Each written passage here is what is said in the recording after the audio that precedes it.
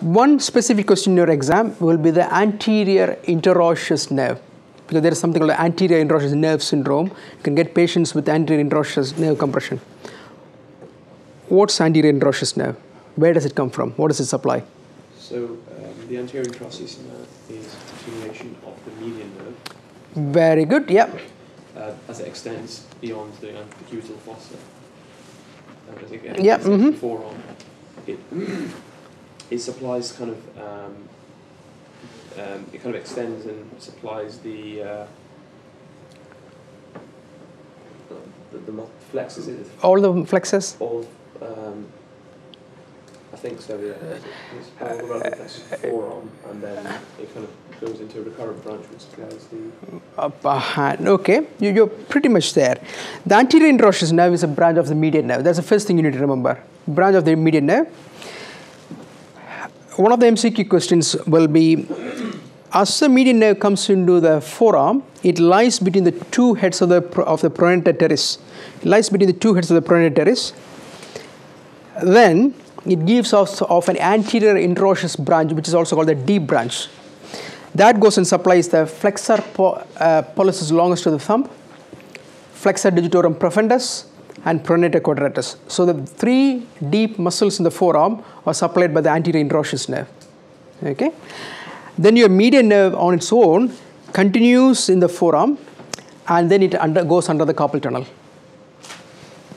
Okay, so that's all you need to know about the anterior interosseous nerve syndrome. So in a patient with anterior interosseous nerve injury, the patient will have lots of normal function because the FCR is intact, so the patient will be able to ex- flex the wrist. They'll have some pronation because the pronator teres is working, but then they will have specific loss of function in the thumb, in the DIPJ, and the final pronator quadratus. So that is your anterior interosseous nerve syndrome.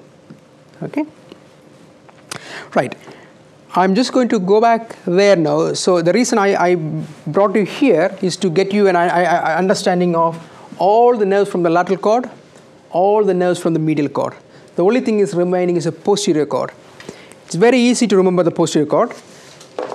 If you recall what we discussed, we had discussed only the anterior side of the arm and the forearm. So everything posterior is from the posterior cord.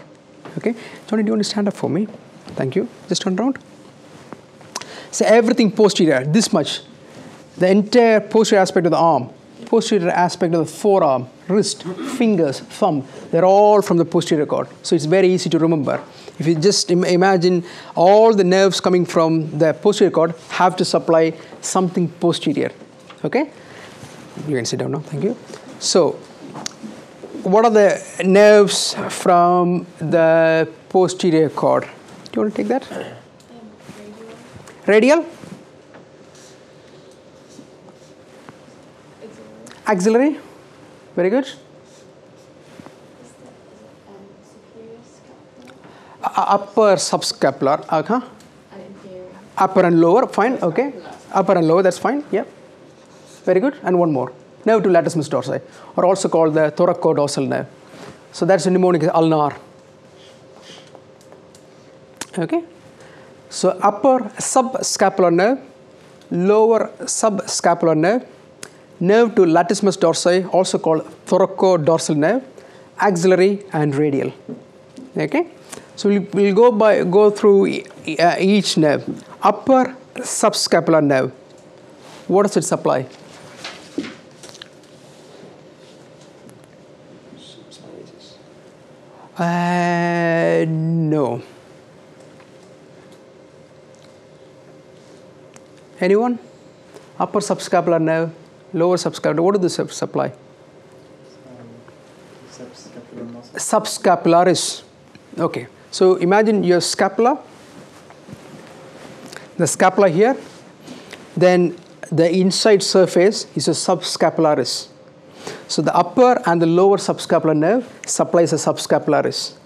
Okay. Nerve to latissimus dorsi, also called the thoracodorsal nerve, as the name says, supplies the latissimus dorsi. So again, a posterior muscle. Axillary nerve supplies the deltoid. radial nerve supplies all the muscles in the posterior surface, surface of the arm and the forearm.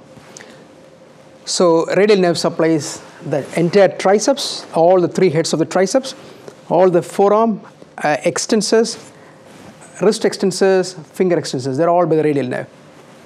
You just completed your first video of the world's best medical exam preparation. Lecturio brings the knowledge of worldwide leading medical experts and teaching award winners to your PC, tablet, or smartphone. Prepare yourself and check your progress with thousands of quiz questions customized to USMLE standards. And the very best, you can get in touch with our medical experts personally. Visit lecturio.com now and continue with the most inspiring medical education around the globe, anytime, anywhere.